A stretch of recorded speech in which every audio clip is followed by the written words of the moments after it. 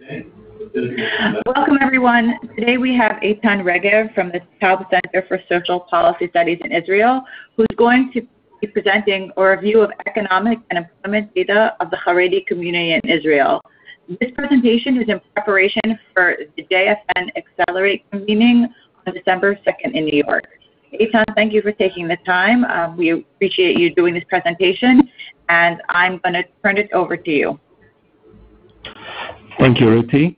Uh, hello, everyone. Very happy to be speaking to you. Uh, I'm Eitan Regev. I'm an in-house researcher at the Taub Center for the past four and a half years and a PhD candidate at the Hebrew University uh, in the Department of Economics.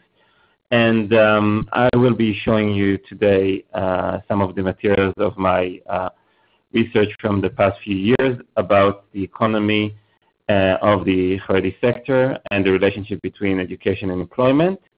I'd like to start with a few fast facts uh, to give some background about uh, the Haredi population in Israel. So the Haredi population in Israel is approximately 1 million persons, which accounts for about 12.5% of total population. Of those, 600,000 persons are under the age of 20 and half a million are under the age of 15. when the State of Israel was founded, Haredim only accounted for 1% of the total population, However, high fertility rates have helped the Haredi population double itself every 15 years on average. The average fertility rate in Haredi families during the last decade stood at 7.5 children per family, and it has recently declined to 6.5 children. So this, this was just a general background. Now I would like to delve in a bit deeper into trends, recent trends in education and employment within the Haredi sector, and their influence on the Haredi economy. And I'd like to start with the story of employment and to show you the employment rates of Haredim and non-Haredim in Israel in recent decades, so starting in 1979 and ending in 2011.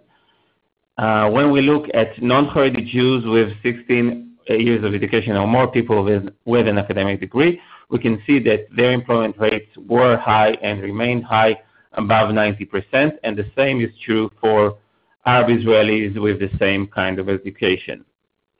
But when we look at Israeli Jews, non-Haredi Jews with only zero to four years of education, then we can see that despite that employment rates were quite high back in the 70s, there was a, a very steep decline, and today less than 50% are employed.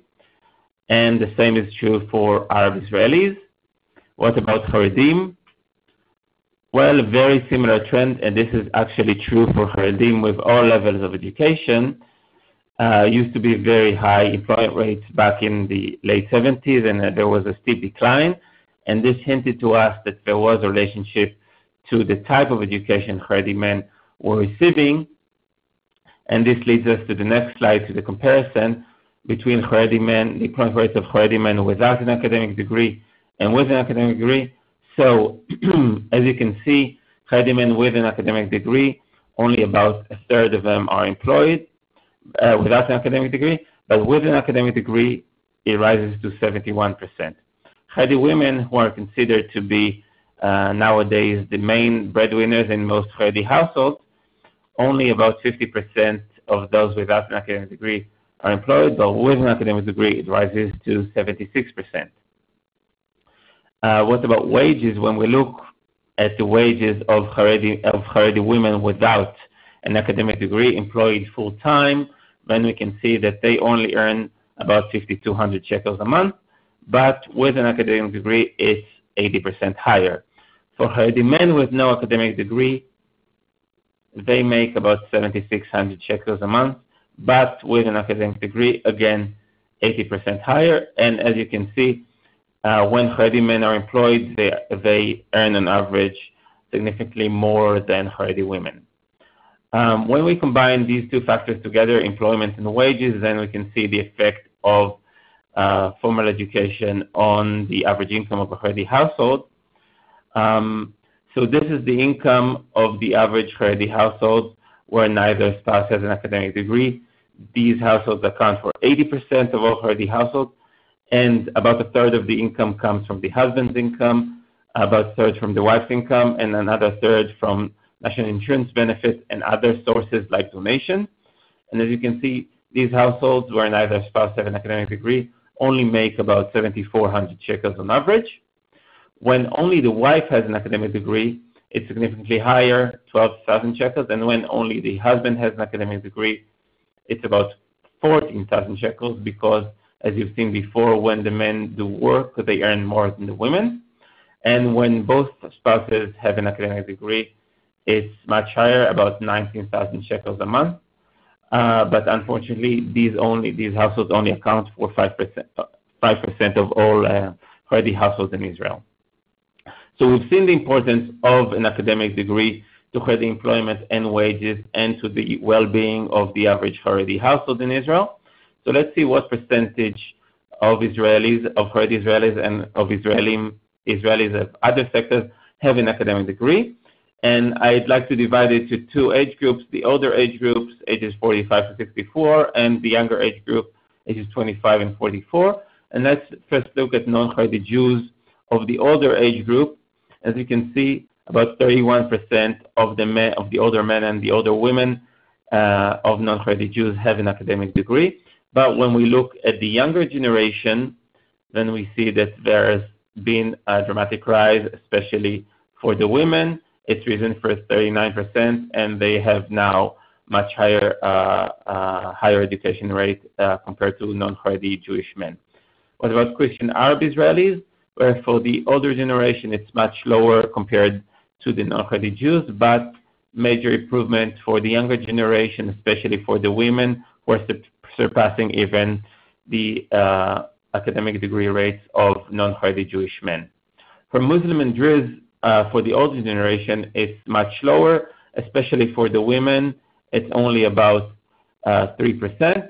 But when we look at the older at the younger generation, a major improvement uh, for the women, it's about four times higher. Still a long way to go, but the trend is very positive. And as a whole, we see that in all sectors, the younger generation is more uh, educated than the older generation. What about the Haredi sector? Well, for the older generation, it's 15% for the men and 7.5% for the women.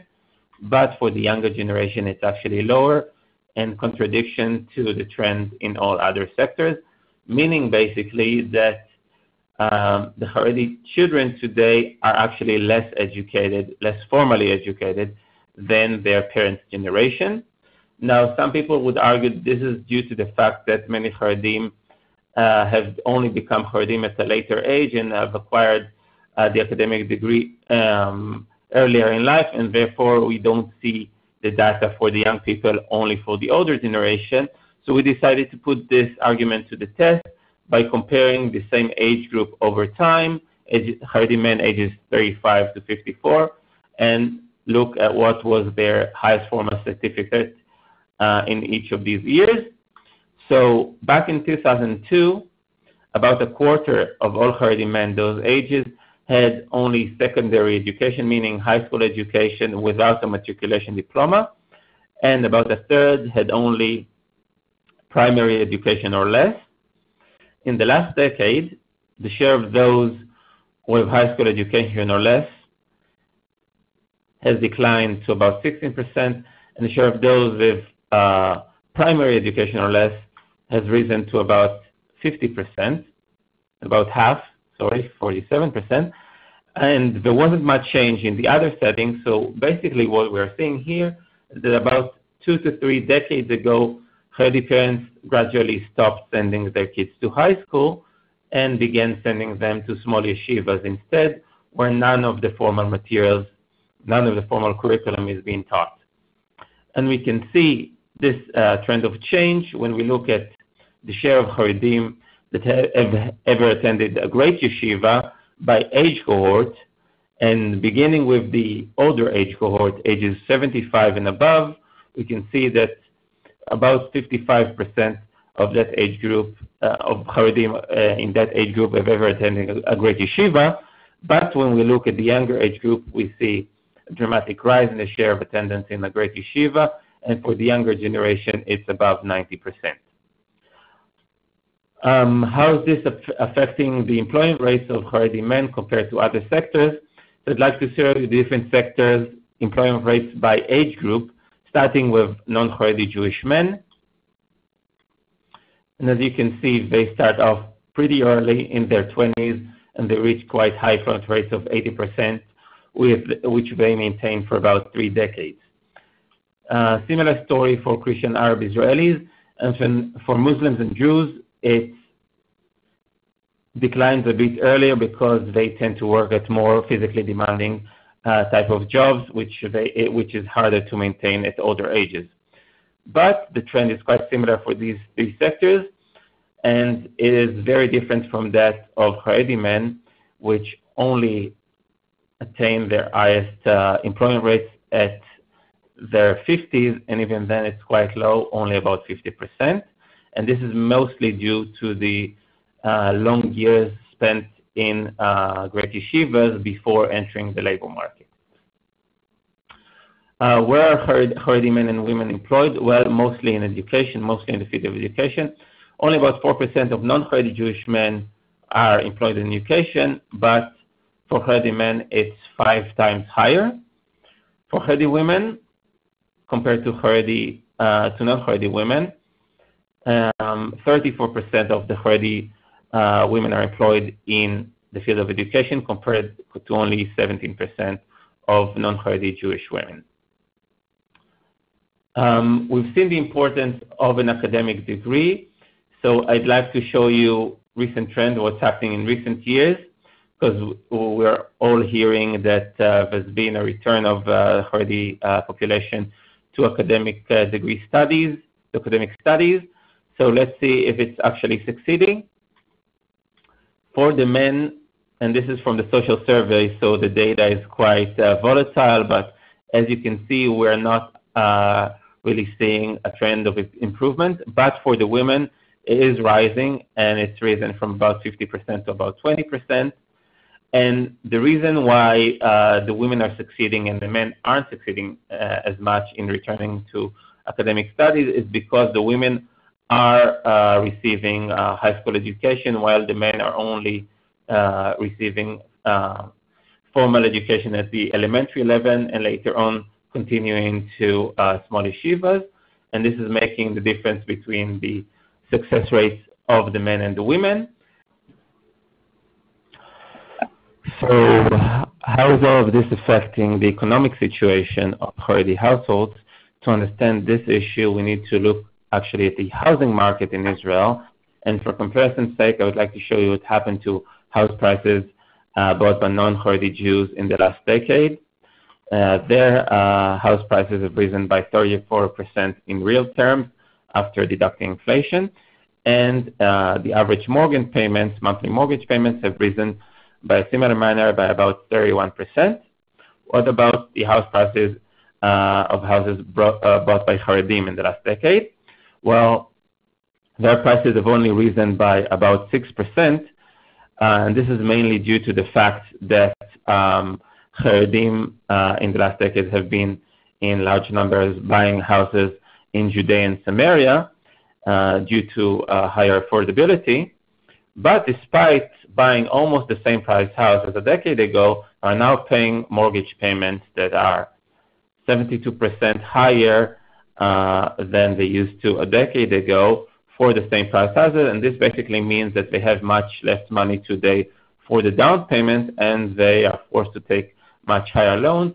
And this, for us, is the strongest indication that we could find uh, for the fact that um, the economic situation of uh, many Haredi families today in Israel has deteriorated, and this is mostly due to Uh, the difficulties that they find in uh, finding employment today and due to the uh, lack of formal education, mostly for the men.